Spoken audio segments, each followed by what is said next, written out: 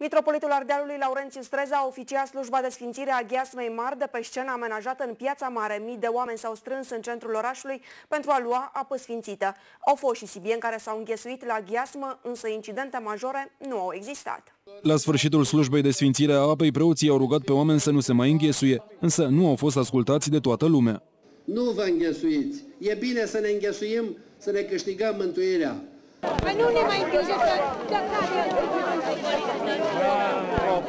înghesuim, Păi dar stați că ce doamne, ferește că mă țupă jos, extraordinar. Păi dar stați că mă mai împingeți. Aproape 8.000 de sticle cu apă sfințită au fost împărțite în mulțime. O bem dimineața, 10 zile pe nemâncare și la orice boală, necaz, pe coș. Pentru copii, pentru noi, foarte bună. Păi am înțeles că se bea dimineața pe nemâncare. Se mai stropește prin casă. Dacă ai credință, te ajută la mai multe.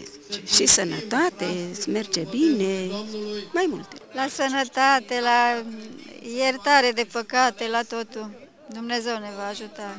Botezul Domnului este o mare sărbătoare pentru întreaga creștinătate. Este momentul în care ieșiți din biserică sau prelungind spațiul liturgic în apropierea unei surse de ape sau într-un loc central din cetate, ne-am adunat cu toți preoții și credincioșii din orașul respectiv pentru ca să ne împărtășim de lucrarea, de binecuvântarea lui Dumnezeu și anume Sfințirea apei celei mari.